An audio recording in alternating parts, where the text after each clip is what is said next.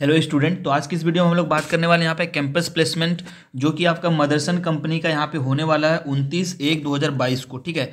दस बजे से ये प्रारंभ होने वाला आपका कैंपस प्लेसमेंट और इस प्लेसमेंट में यदि हम लोग बात करें तो आईटीआई आपका हो, चाहे आप इंटर पास हो या फिर आप एपियरिंग वाले छात्र हो तो भी आप इसमें जो है बैठ सकते हैं, ठीक है? तो इससे पहले, इसमें डिटेल से बताने से पहले मैं आपको यहाँ पर बोलना चाहूँगा कि इसके पहले जो आपका जो कैंपस प्लेसमेंट हुआ था, आप लोगों ने देखा होगा, मैंने उसका वीडियो भी डाला था, मोटर, आपका जो सुजुकी मोटर्स था, जो कि चौबीस को हुआ था उसमें जो छात्रों का सिलेक्शन हुआ था तो देख सकते हैं उन सारे छात्रों को यहाँ पे लेने के लिए कंपनी की तरफ़ से जो है गाड़ी भेजी गई थी और उसके थ्रू यहाँ पे जो भी बच्चे सिलेक्ट हुए थे उनको यहाँ पे ले जाया जा रहा है। तो इसका वीडियो मैं आपको चाहूँ दिखा सकता हूँ यहाँ पे आप देख सकते हैं। जिन बच्चों का चौबीस था उसमें सिलेक्शन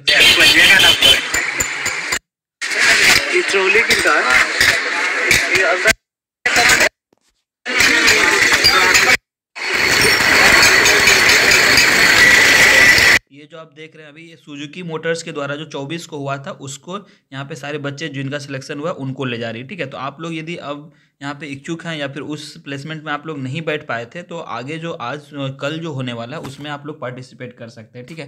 तो ये जो कंपनी है, इसके बारे में थोड़ा जान लेते हैं। यहाँ पे देखिए आपको जो, क्या क्या इसमें मिलेगा, यदि आपका सिलेक्शन होगा तो आपको यहाँ पे पीएफ प्लस मेडिकल के साथ में आपको सत्रह हज़ार पाँच सौ रुपये इसमें दिए जाएँगे, ठीक है? और ये कहाँ पे होने वाला है तो NSC group of I Ghantaghar जो हेड ऑफ़िस है, वहाँ पे भागलपुर में होने वाला है, ठीक है? तो यहाँ पे आप लोग देख सकते हैं एड्रेस जो यहाँ पे लिखा हुआ स्थान N group of I Ghantaghar Bhagalpur.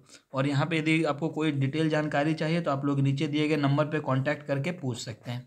तो नीचे जो आपको नंबर दिख रहा है, इस पर आप दस से लेकर चार बजे के बीच में सारी जानकारी जो भी आपको चाहिए, वो आप यहाँ पर ले सकते हैं, ठीक है? तो फ़िलहाल आपका जो कैंपस प्लेसमेंट है, वो उनतीस को होने वाला है। और जो मैंने अभी वीडियो जस्ट दिखाया, वो आपका चौबीस को जो सुजुकी मोटर्स की तरफ़ से हुआ था, उसका था, ठीक है? आप लोगों ने देखा, बहुत सारे बच्चे यहाँ पे सिलेक्ट भी हुए, और ये सारे बच्चे जो आप देख रहे हैं, ये सारे बच्चे इस प्लेसमेंट में सिलेक्ट हुए हैं और ये जा रहे हैं वहाँ पे, ठीक है?